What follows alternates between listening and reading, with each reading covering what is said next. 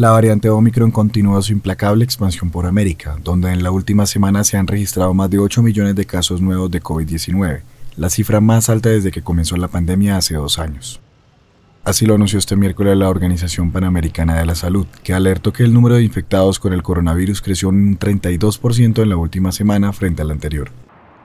En Estados Unidos, el país con más muertes y casos confirmados, continúa con las cifras más altas de infecciones nuevas del continente, aunque estas han disminuido en cerca de un millón la última semana según las autoridades.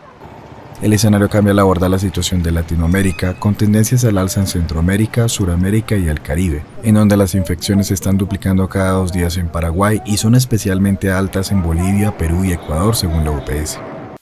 En Brasil, el país latinoamericano con las cifras más altas, los casos se han disparado casi en un 200% en la última semana.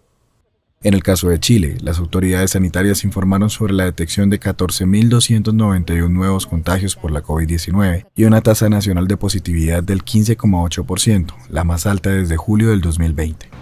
Sobre el nuevo subtipo de la variante Omicron ya presente en más de 40 países, la OPS señaló que actualmente no existen motivos de preocupación adicional y hace un llamado a continuar con las medidas de combate de la pandemia que no cambian, la aplicación de vacunas, el uso de mascarillas y el distanciamiento social